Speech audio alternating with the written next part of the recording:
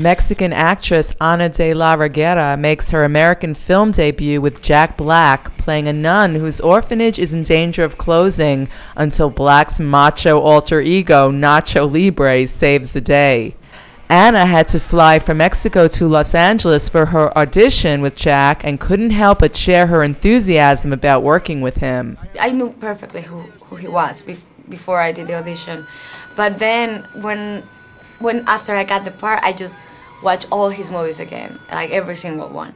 Because, you know, I, I was gonna work with him, so if I catch something on TV, I'm like, ah, I'm gonna work with him.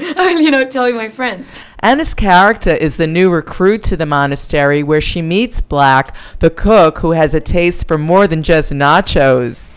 Well, my, I am Sister Encarnacion, and this is um, really innocent girl.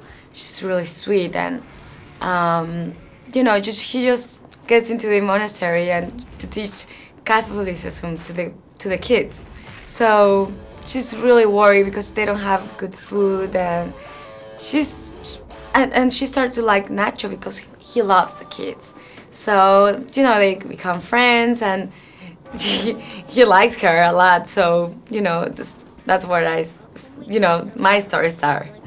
Nacho Libre is directed by Napoleon Dynamite filmmaker Jared Hess and opens Friday nationwide. Where were you last night? I went to a wrestling match. Lucha Libre. You went to watch a wrestling match?